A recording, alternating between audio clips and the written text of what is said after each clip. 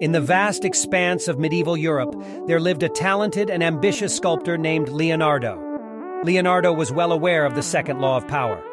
Never put too much trust in friends, learn how to use enemies. Leonardo's artistic genius garnered him much acclaim, but he faced envy and rivalry from fellow sculptors. Determined to rise above the competition, he masterfully employed the power of this law. Instead of blindly trusting his friends, Leonardo remained cautious, observing their motivations and actions. One day, a fellow sculptor, Giovanni, approached Leonardo, seemingly friendly and eager to collaborate. However, Leonardo sensed Giovanni's hidden agenda. He recognized the envy burning in Giovanni's eyes and the desire to overshadow him.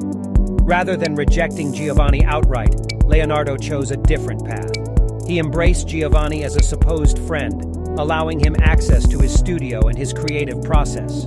But behind the scenes, Leonardo meticulously protected his ideas and advanced his work in secret.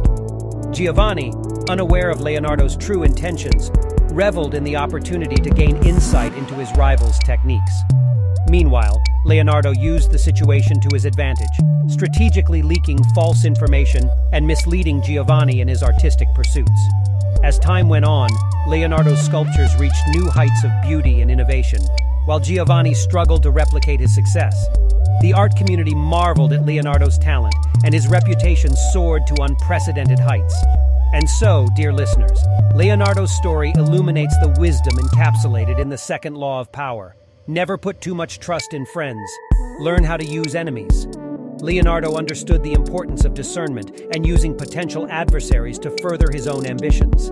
By carefully manipulating his rival, he safeguarded his ideas and propelled his artistic journey to extraordinary heights. Remember, in the ever-changing tapestry of life, it is crucial to be astute in identifying true friends and leveraging the potential of those who may oppose us.